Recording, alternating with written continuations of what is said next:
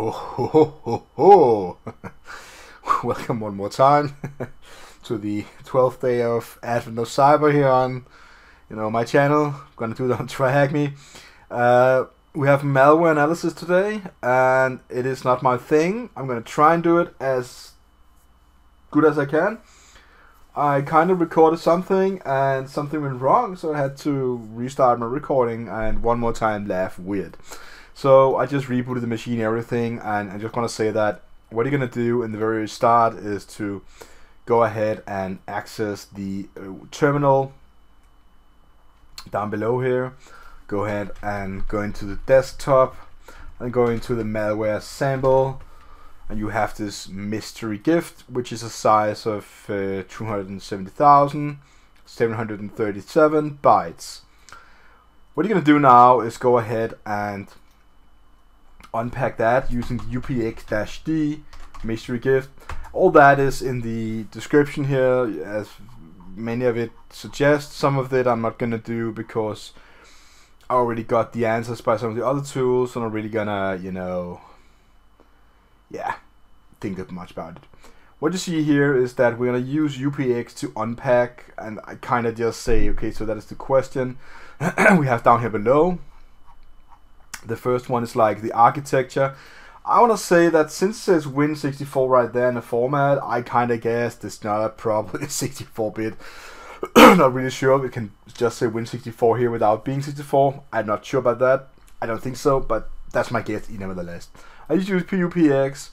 In order to answer the other one here, you're going to run capa or Kaba or whatever.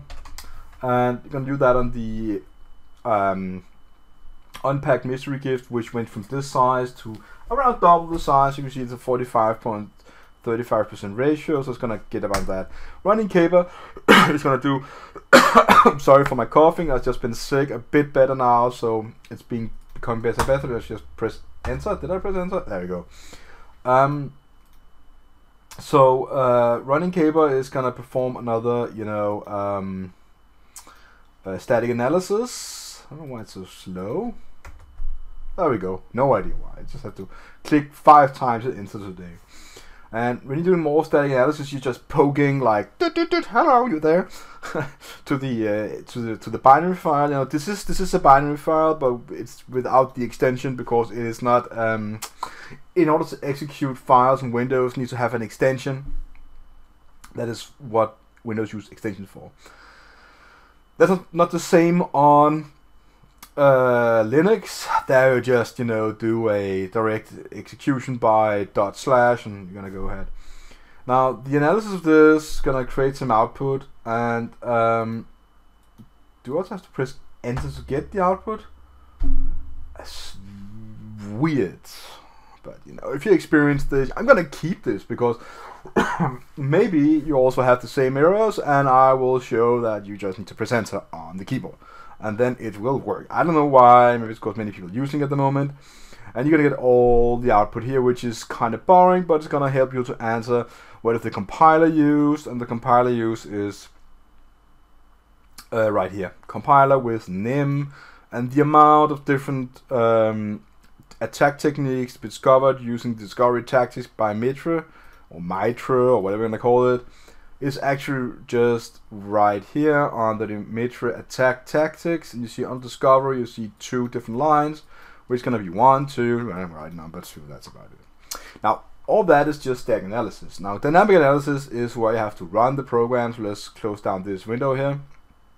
Go to the malware folder. And let's put on a .exe on this file. Don't run it yet. Go ahead and start up the blue process um, monitor tool right here. And that is a tool that can monitor a process in order to capture the process we're running, which is the name of mystery gift. When you run an exe file in Windows, it will automatically be named the same as the file name.exe is. so mystery gift is going to be the process name. So you're gonna you're gonna have to attach that to the process name which contains, it could probably also be is, but uh, uh, let me just do this, mystery gift, you add that, and you will see it has the include on the action. You will see a lot of excludes right here on normal processes that it shouldn't be looking for. Let me click apply now and OK. Now you will see nothing yet because we haven't run it. So let's go ahead and run this file. You say, oh dear malware guard, let's click the file and run it and you will see this it's really weird. It stays. I have to put enter there as well. It's like that my enter, enter, enter, enter, enter.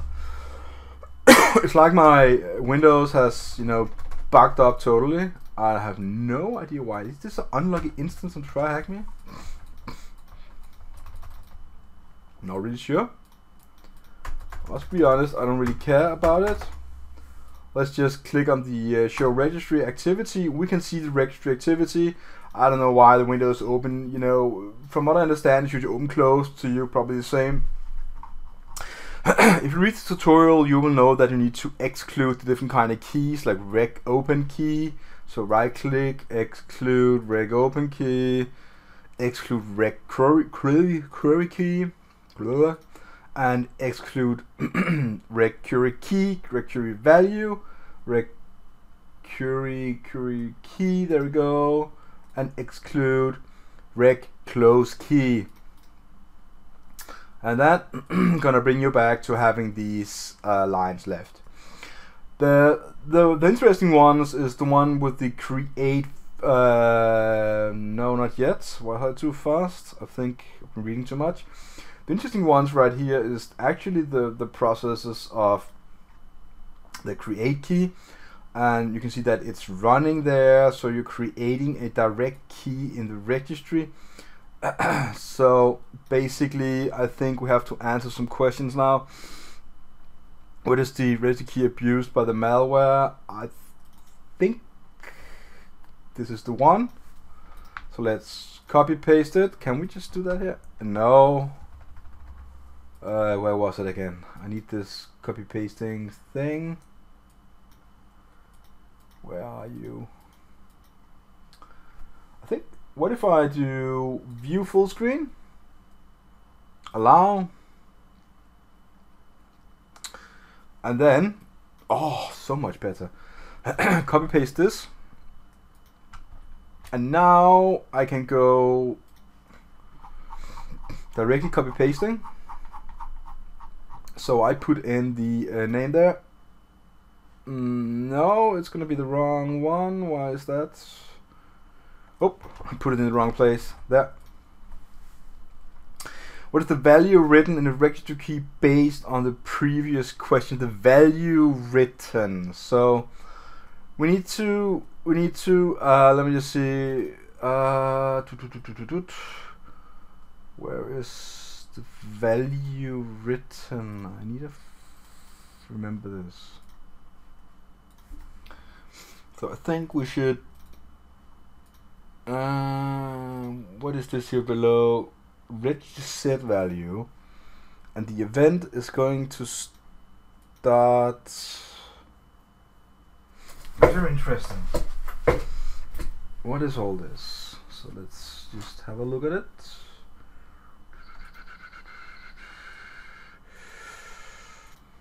Hmm. I need to remember this. So we are.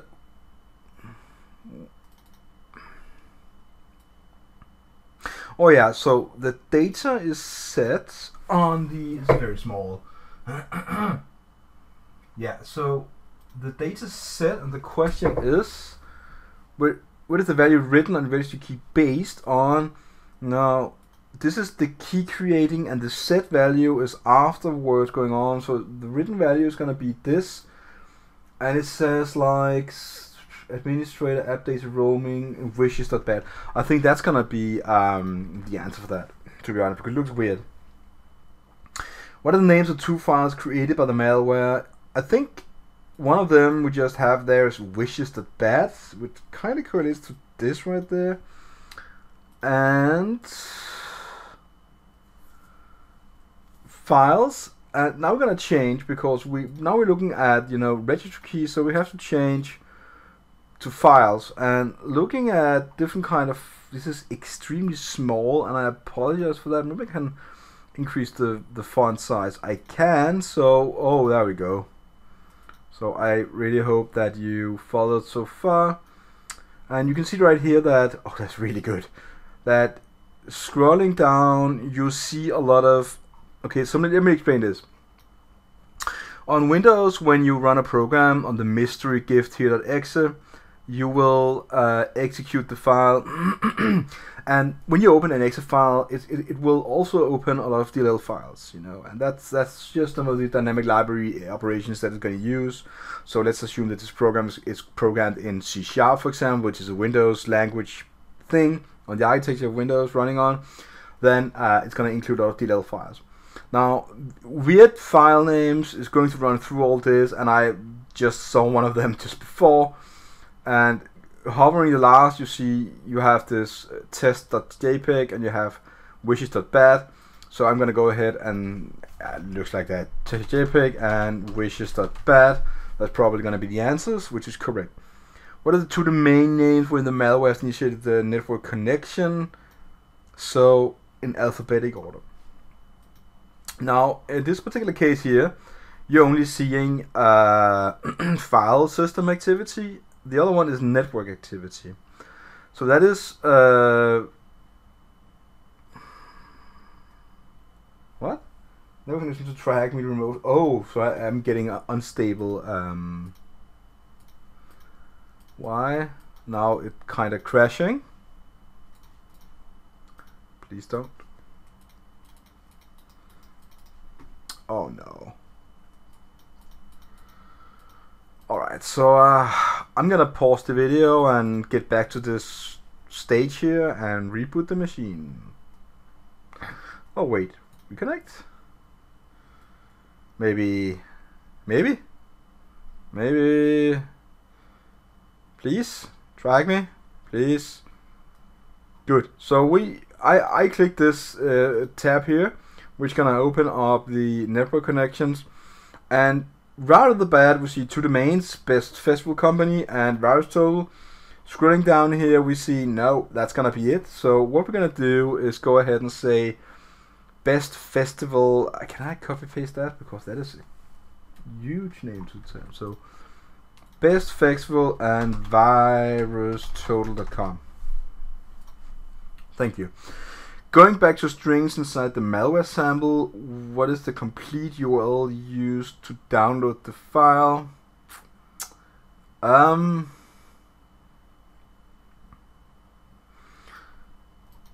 uh, the complete URL, what is the hint for that? Use detect it easy again to use strings functionality. Mm. Let me just go ahead and where was that again? Detect It Easy. I haven't used that before. Uh, nope. Uh, nope. Uh, nope. D. Come on, please. Was that program? Detected easy. I see Sublime Text, I see Notepad++, but I don't see any Detect It Easy programs. I haven't used that so far. Where did it store that?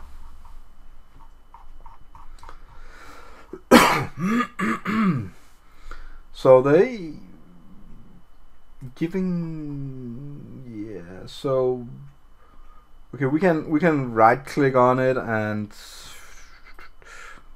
like this and detect it easy. Now let's see if it still works. So that's gonna be a bit small. We cannot do anything of the size. Uh, let's see, what was the strings there? Press the strings button. And using that, you should be able to search for so write HTTP maybe to. Okay, so it's a live. Yeah, so typing HTTP colon, you're gonna get the best festival tmh favicon.ico I think that's gonna be the one. So copy string. Go down below. Paste it in. And that's gonna conclude this task. Alright, so guys, um, overall, you know, I um, I want to say that the general thing about you know this Detect It Easy program is that this is static analysis program. It will look at the file, you get different kind of informations about it. It will also show this is a, a AMD 64 architecture, as you can see right there. Uh, it's a little confusing that it got this hovering thing, but I don't really know. Um, and then you're gonna use the, uh, the, the, the, the, the, the, process monitor to monitor the process using different kind of buttons you know, this is a very simple example, and I remember doing uh, forensics on in, in London, was doing that, and we didn't use these tools exactly, but we used something similar. But it was not malware analysis; it was more like detecting, you know, specific behavior on a Windows machine.